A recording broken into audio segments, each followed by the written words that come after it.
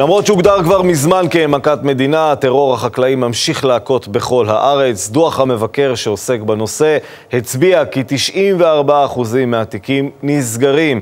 יחידות הסיור לא בשטח והמשטרה ובתי המשפט לא ממש מענישים.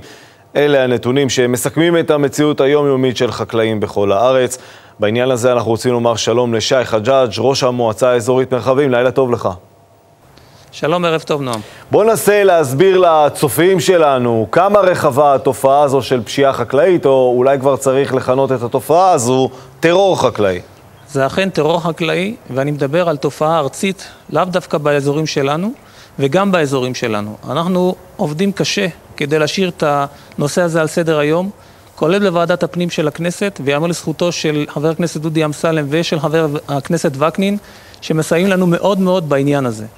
צריך להבין שמדי לילה נפרצים משקים ובתים ועסקים במגזר הכפרי, והתופעה הזו חייבת להיפסק.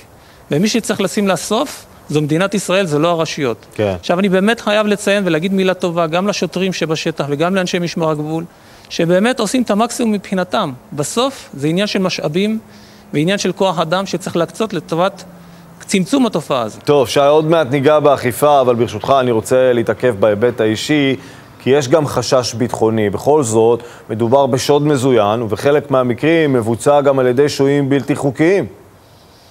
לגמרי, צריך לזכור שאם אנחנו מדברים על הנגב המערבי, הוא יושב במשולש דרכים שבעצם מצד אחד יש את רצועת עזה, מצד שני את הר חברון והיישובים שסמוכים לנו. כן. והנגישות של הפורצים היא פשוט מדהימה, הם פשוט, קל להם מאוד להגיע אלינו.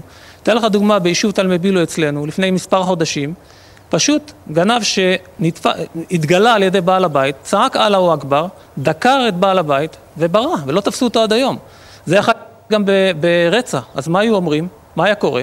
אז אני אומר, חבר'ה, הכתובת על הקיר, בואו נעשה פעולות. אני חייב לציין עוד במילה את השר לביטחון פנים שנרתם לעניין כן. הזה, ובאמת הקצה איזשהו משאבים לטובת מרכיבי ביטחון, זה לא מספיק, אבל זה תחילת הדרך. טוב, בואו נדבר קצת על היבטים אישיים יותר. אתה מכיר מקרים שבתים התרסקו, עסקים שקרסו לאחר גניבה חקלאית משמעותית?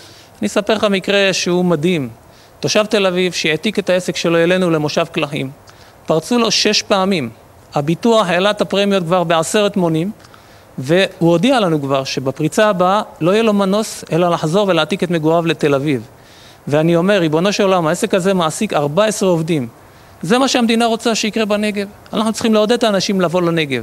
ויש לנו פה דברים מקסימים, דברים טובים. כן. חבל שנושא כזה יגרום לאנשים לעזוב את הנגב. טוב, אז מה הסיפור פה שאתם צריכים תקציבים, משאבים למשטרה? מה צריך לעשות כדי להוסיף ביטחון לתושבים שחווים את התופעה הזו מדי לילה? אני אגיד לך, אני אתן לך דוגמה של יישוב מבועים שהיו בו המון המון פריצות. שמנו שם מערכות מיגון השקענו בשערים, במצלמות, בטרסה היקפית, הורדנו את כמות הפשיעה שם ב-90 אחוזים. זה עולה המון כסף.